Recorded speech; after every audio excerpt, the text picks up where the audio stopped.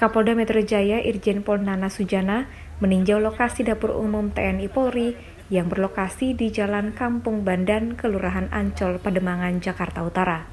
Dapur umum ini didirikan dalam rangka untuk membantu para warga masyarakat yang mengalami kesulitan secara ekonomi akibat dampak penyebaran virus COVID-19. Dapur umum yang di bawah pimpinan Kompol Patria ini membawahi sekitar 44 personil. Selain meninjau, Kapolda juga sekaligus memberikan bantuan logistik untuk keperluan dapur umum yaitu 100 paket beras berukuran 5 kg. Selain Kapolda, Wakapolda Metro Jaya Brigjen Pol Hendro Pandowo juga terlihat hadir bersama dengan anggota DPRD DKI Jakarta, Jupiter, Kapolres Metro Jakarta Utara, Kombes Pol Budi Herdi Susianto, Wakil Wali Kota Jakarta Utara Ali Maulana, dan Kapolsek Pademangan Kompol Joko Handono.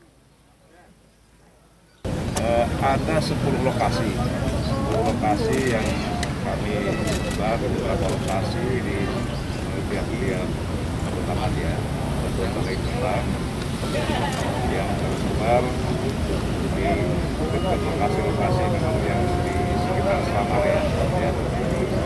Ini memang ada tekan maksud dari kami itu sebagai